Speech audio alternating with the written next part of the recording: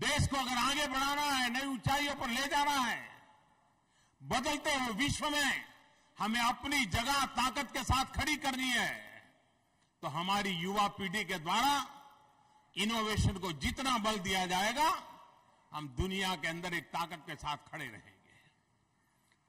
जब IT revolution आया, किस प्रकार से विश्व का, भारत के प्रति सोचने का बदलाव शुरू हुआ वरना दुनिया हमें हमेशा साफ़ सपेरों वाला देश मानती थी।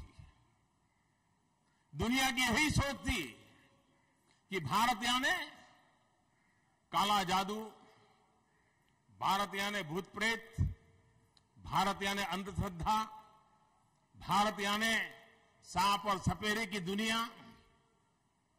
लेकिन जब आईटी रिवॉल्यूशन में, जब हमारे देश के 18-20 साल के बच्चे उंगलियों पर दुनिया को एक नई दुनिया दिखाना शुरू कर दिया तो विश्व चौकन्ना हो गया कि ये क्या चीज़ लेकर के बच्चे बता रहे भारत की तरफ़ देखने का नज़रिया बदल गया।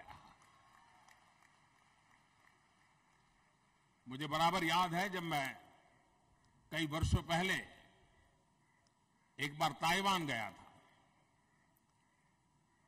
तब तो मैं मुख्यमंत्री भी नहीं था कहीं चुनाव की दुनिया से मेरा नाता नहीं था, वहाँ की सरकार के निमंत्रण पर गया था। तो मेरे साथ एक इंटरप्रेटर था, दस दिन के मेरी वहाँ टूर थी। वो इंटरप्रेटर मुझे बातचीत के माध्यम के रूप में मेरे साथ रहता था। अब दस दिन साथ रहे तो थोड़ी परिचय हो गया, थोड़ा दोस्ती सा हो गया। तो छह आठ दिन के बाद उसने एक दिन मुझे पूछा बोले, साहब, आपको बुरा न लगे तो मुझे कुछ जानकारी चाहिए। मैंने कहा, ज़रूर पूछिए। बोले, आपको बुरा नहीं लगेगा ना? मैंने कहा, नहीं नहीं लगेगा, बताइए ना क्या है?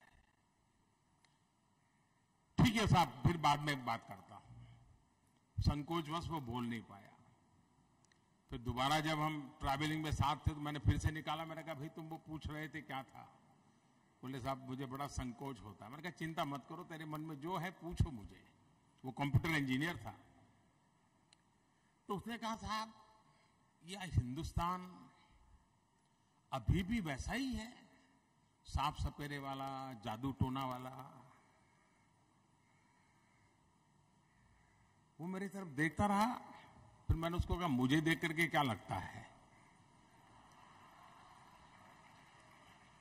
तो थोड़ा वो संकोच में पड़ गया, थोड़ा शर्म शर्म, शर्मिंदगी महसूस करने लगा।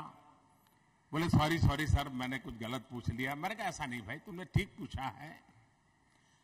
मैंने कहा, तुम्हारे मन में ये जो तुमने जानकारी है, लेकिन अब हमारा थोड़ा पहले जैसा नहीं रहा है, थोड़ा डिवेल्यूएशन हुआ है। बोले, वो कैसे? मैंने पहले हमारे जो पूर्वज थे, वो सांप से खेला करते थे। हमारी जो नई पीढ़ी है, वो माउस से खेला करती है।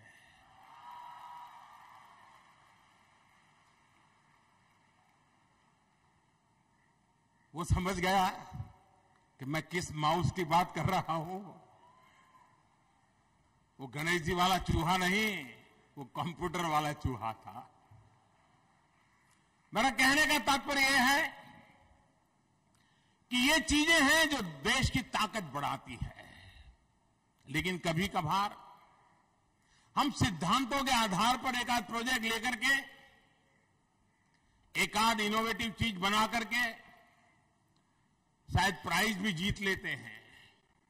लेकिन आज हिंदुस्तान के सामने सबसे बड़ी आवश्यकता ये है।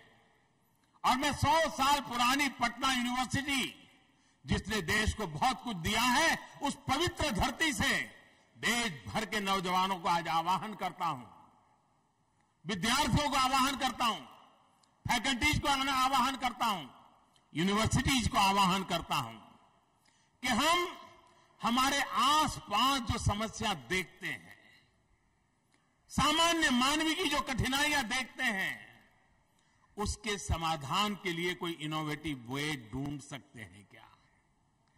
उसके लिए कोई नई टेक्नोलॉजी ढूंढ सकते हैं क्या? उसके लिए टेक्नोलॉजी सस्ती हो, सरल हो अफोर्डेबल हो यूज़र फ्रेंडली हो। अगर एक बार ऐसे छोटे छोटे प्रोजेक्ट्स के इनोवेशन को हम बल देंगे, वो आगे चल करके स्टार्टअप में कन्वर्ट होगा। हिंदुस्तान के नौजवान स्टार्टअप के माध्यम से यूनिवर्सिटी की शिक्षा दीक्षा का इनोवेशन भारत सरकार की बैंकों के मुद्रा योजना से बैंकिंग मदद और स्टार्टअप की दिशा में कदम आप कल्पना नहीं कर सकते। आज दुनिया में हिंदुस्तान स्टार्टअप की दुनिया में चौथे नंबर पर खड़ा है। देखते ही देखते हिंदुस्तान स्टार्टअप की दुनिया में अग्रिम पंक्ति में आ सकता है। और अगर वो आर्थिक विकास की एक नई दुनिया हिंदुस्तान के हर कोने में, हर युवा के हाथ में स्टार्टअप को लेकर के कुछ करने का इरादा हो तो कितना बड़ा परिवर्तन और परिणाम मिल सकता है, इसका मैं भली भांति अंदाज कर सकता और इसलिए देश की यूनिवर्सिटियों को मैं निमंत्रण देता हूँ, मैं पटना यूनिवर्सिटी को विशेष रूप से निमंत्रण देता हूँ कि आइए इनोवेशन को हम बढ़ावा दें।